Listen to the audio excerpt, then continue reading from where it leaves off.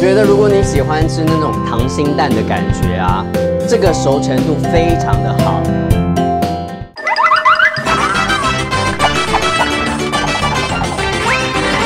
主意好主意，我是主打甜蜜有好主意的主意哥哥。今天要来做一道告白料理，淡淡的幸福。第一个步骤，我们要来煮皮蛋，把它丢进去。皮蛋煮好之后呢，接下来我们把它泡到冰水里面，让皮蛋冷却一下，也比较好剥。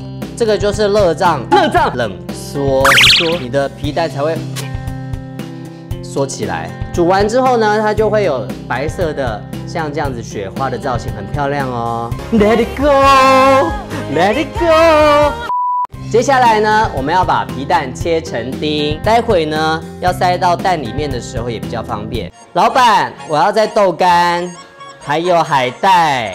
切这么小块不会糊糊不会，因为我们已经把那个溏心的部分煮熟了。如果你没有把溏心的部分煮熟，切的时候它就会变得格格主意格格。接下来呢，我们要来处理鸡蛋的部分。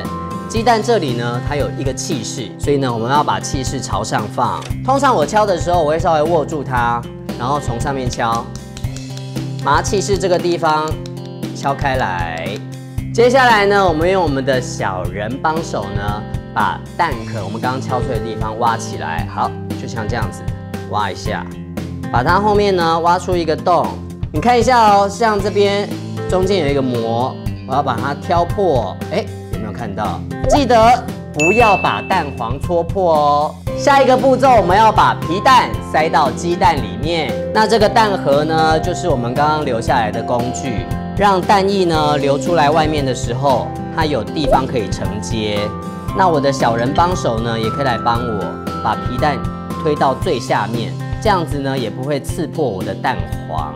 那通常呢，我差不多会塞十到十五个皮蛋丁，这样子塞进去也比较漂亮。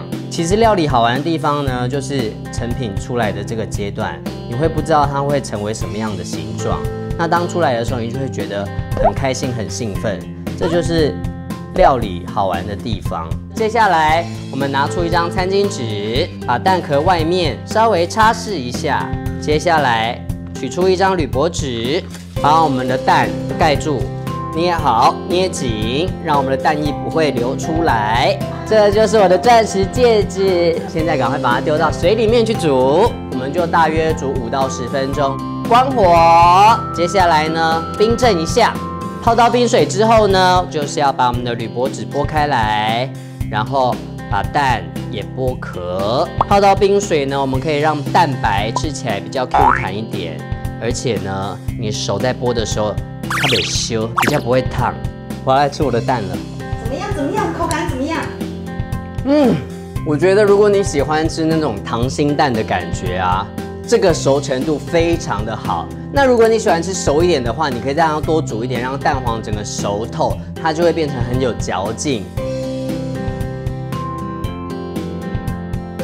主意好主意，欢迎留言加分享，订阅爱时尚频道，开启小铃铛，获得第一手料理资讯。好看。你还真的唱啊！好想唱，好想唱。蛋子的呢？